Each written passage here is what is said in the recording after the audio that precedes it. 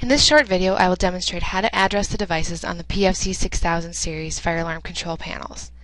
The PFC 6000 series is made up of the PFC 6800, the PFC 6200, the PFC 6075, and the PFC 6030. All these panels address the devices the same way. In this video, I will be demonstrating using a PFC 6800.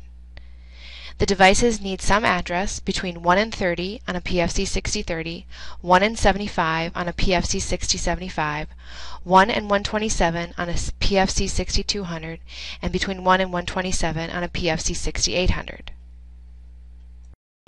When addressing the devices, you'll need to locate the SLC PGM terminals.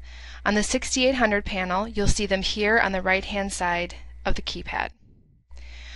On the PFC 6030, the PFC 6075, and the PFC 6200, you'll find them on the lower terminal strip right underneath the keypad. The first thing that I'm going to do here is connect a pair of alligator clips for addressing the devices. I'm going to connect a black alligator clip to the minus terminal and a red alligator clip to the positive terminal. Once I've done that, I'm going to go to the main menu by selecting Enter. From the main menu, I'm going to select option 5, System Tools. In System Tools, I'm going to select option 1, SLC Tools.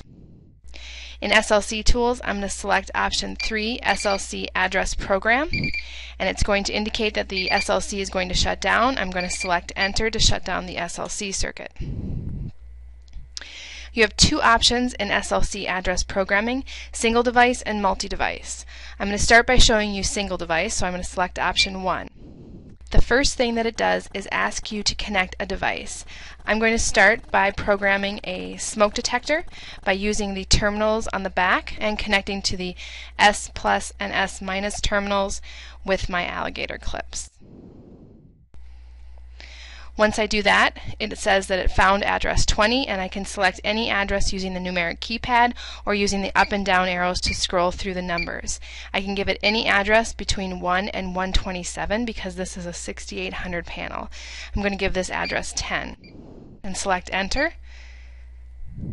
It's now set the address for this device so I can go ahead and disconnect that and connect my next device. The next device that I'm going to program is an SCM4, so I'm going to connect my alligator clips to the terminals that are labeled S plus and S minus on this device. When I connect the device, it's going to say it found an address, and again I can use the up and down arrows to scroll to the number that I want, or go ahead and use the numeric keypad to enter a number. I'm going to give this number 15 and select enter. Once I'm done setting the address with that, I can disconnect that device. The next device that I'm going to program is a heat detector, and again I connect to the back of the terminals, keeping your polarity correct. Once I get that connected, I can use the up arrows to go ahead and set the address of that device. That is single point.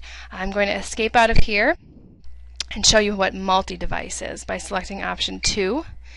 In multi-it device, you're going to select the address that you want to start with, and it's going to count up consecutively for you. So in this case, we'll start with address 10 and go ahead and set enter. At this point, it asks us to connect a device. So again, I'm going to start with my smoke detector, connecting to the terminals on the back, making sure to keep my polarity correct. I get that connected.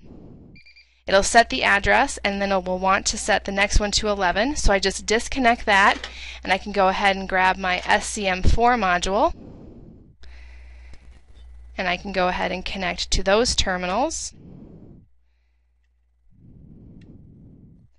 and it'll set the address to that to 11 and the next one is 12 so it's counting up for you which can save a ton of time now the next device that I'm going to program is my DCM4 and my DCM4 is my dual contact module, and this takes two addresses. Now the only thing that knows that is the device, because it does that, and you, because you're watching this video. Uh, the panel does not know that. So I'm going to go ahead and, and connect my alligator clips to this, and it's going to get address 12, and it's going to say the next is 13.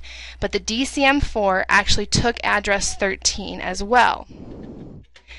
So when I go to my next device, which is going to be my heat detector, and I connect the terminals on the back of the heat detector, what I need to do is up arrow to uh, miss address 13. So it says it gave it address 13, next is address 14.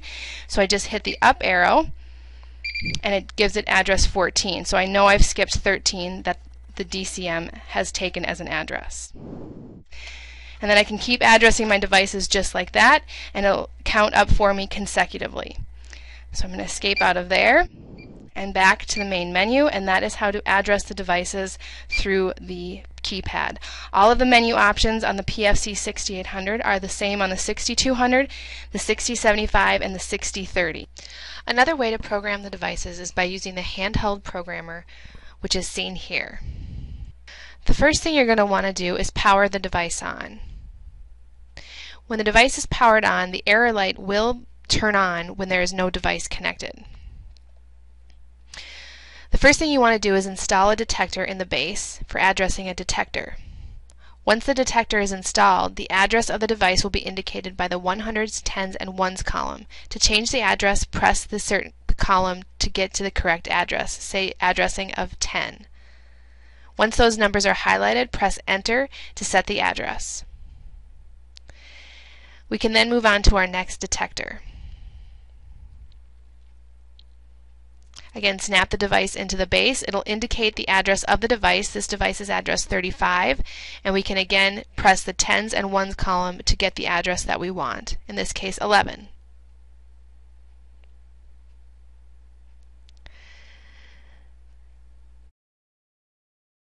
To address a detector module, I'm going to connect two alligator clips to the terminals on the programmer.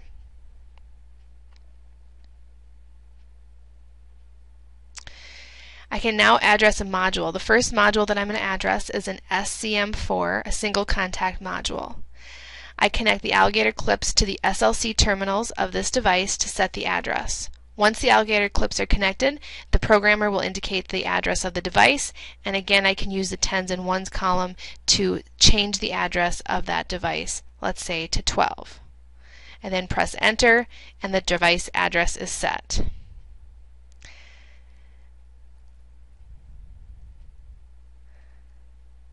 I can then disconnect everything and to power the device off I just hit the power button until the lights go out. For more information on addressing of the SLC devices, please refer to the installation manual.